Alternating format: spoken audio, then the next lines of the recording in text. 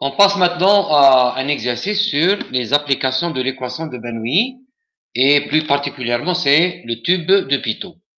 Donc soit l'écoulement de l'eau, nous avons de l'eau en bleu dans cette conduite, on demande de déterminer le débit en fonction du diamètre grand D. C'est-à-dire, il faut calculer ici la vitesse. On commence toujours par lire l'image, la figure. Là, nous avons une conduite de diamètre 0,1 mètre et qui va converger vers un autre diamètre. Donc, automatiquement, l'idée qui vient à l'esprit, c'est la conservation des débits. C'est clair. Donc, il y a une diminution de D, donc il y a une autre vitesse, un autre diamètre, c'est-à-dire pour le même débit, on aura une autre vitesse V2. Là, vous avez aussi, ensuite, on va voir quels sont les systèmes de mesure, les instruments de mesure. Là, on va passer de gauche à droite. Vous allez voir qu'ici, on a un tube en face de l'écoulement. Donc, c'est un tube de pitot. Il va donner la pression d'arrêt ou bien la pression totale. Et là, nous avons un autre manomètre simple qui donne, qui, dont l'axe est perpendiculaire à l'écoulement. Donc, il va donner la pression statique de l'écoulement. Bien. La question est de calculer le débit en fonction du diamètre D, c'est-à-dire on va appliquer directement le débit ici. Donc le débit c'est V2, que je vais, le point que je vais appeler V2, fois D. D'accord? Il est donné par V2 fois pi D2 sur 4. La vitesse V2, je vais l'obtenir en appliquant l'équation de Bernoulli simple, simple, c'est-à-dire il n'y a pas de perte, entre le point 1 et le point 2. Pourquoi j'ai choisi ces deux points? Premièrement, le point 2, c'est le point recherché. Le point 1, je connais sa, hauteur.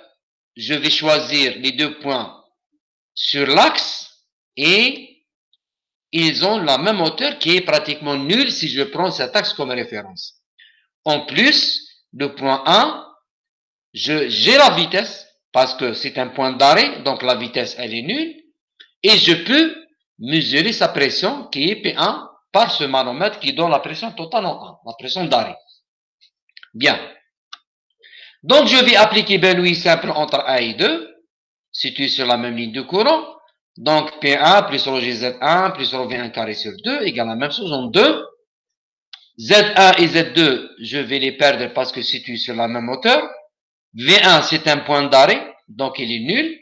Et il me reste P1 qui est égal à P2 plus rho V carré 2 sur 2. Et je tire la différence de pression P1 moins P2 qui sera égal à rho V carré 2 sur 2. Je vais appliquer maintenant, je vais voir ce qui se passe au niveau des, des sondes, des manomètres. Donc le manomètre, ce manomètre entre 1 et 3, il va donner la pression d'arrêt P1. Et qui est une pression totale, bien sûr. Et ce manomètre, entre 2 et 4, il va donner la pression statique.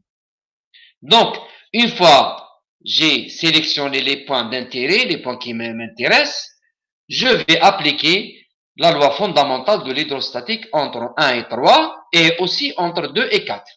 Donc, je vais obtenir P1 qui est la pression d'arrêt, la pression totale qui est égale à P3 plus rho GH. Et P3, c'est la pression atmosphérique. Et P2, c'est H, bien sûr, c'est cette distance qui est là entre l'axe de symétrie et, et le point 3. Donc, c'est ça le grand H. Et pour P2, P2 égale à P4 plus G fois cette hauteur qui est grand H moins 0,2. Et aussi, là, on a P4 égale à pression atmosphérique. Donc, je vais calculer P1 moins P2 et bien sûr P1 moins P2, donc je vais perdre les pressions atmosphériques et les rho H. Il me reste uniquement P1 moins P2 égale à rho fois 0,2, fois cette hauteur. D'accord? Donc, je vais rassembler toutes les équations. P1 moins P2, c'est rho V2 carré sur 2. Le débit, c'est V2 que je vais tirer à partir de cette équation fois la section S2. P1 moins P2, à travers la statique, j'ai trouvé cette valeur.